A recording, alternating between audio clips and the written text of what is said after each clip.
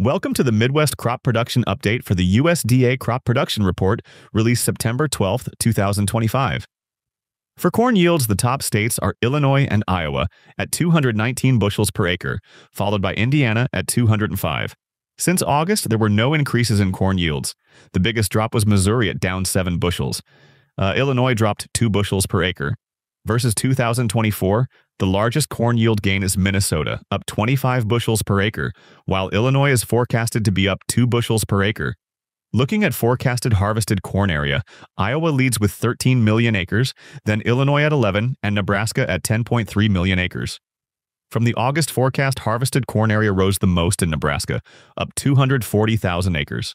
Compared with last year, the biggest harvested area increases are in North Dakota and South Dakota, each up 720,000 acres, while Ohio is the only decline, down 20,000 acres.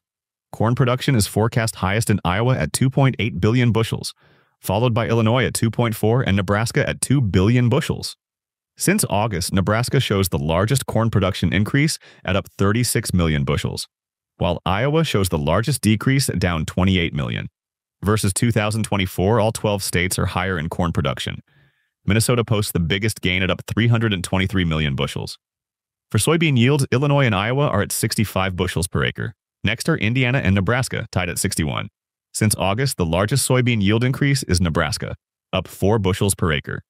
Compared with 2024, Minnesota shows the biggest soybean yield improvement, up 8 bushels per acre, while Illinois is forecasted to be up 1 bushel per acre.